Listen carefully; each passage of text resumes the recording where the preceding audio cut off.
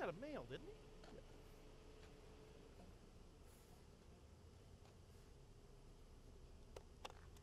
You know, it's a long metal building, strip center building. It's the last building down, so I can't make anything out. And uh, he got the. They got him saying the funeral is. But I'm the same guys that's going door to the thing.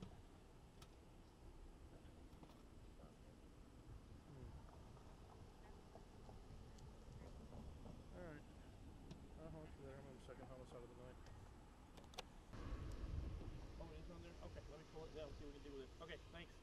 Uh, bye.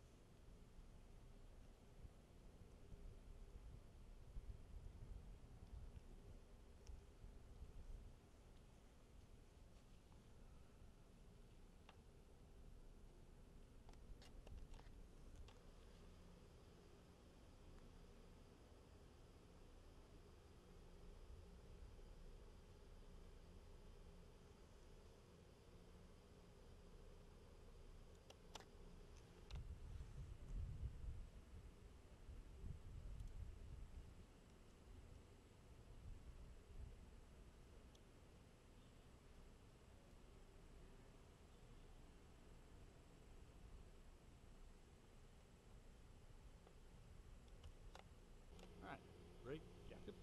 All right, Larry Crowson, CRWSON. I'm a lieutenant with Houston Police Department. About 12:30 this morning, uh, North Patrol officers were dispatched to 6100 Pinemont were reported of a shooting. Upon arrival, they found an adult male that was dead at the scene. Uh, initial indications are that there was a male sleeping overnight in a business. Uh, he heard some noise, saw the uh, male that's deceased breaking into the business. Uh, he retrieved a pistol, fired at least one shot that struck the uh, suspect. He's dead at the scene.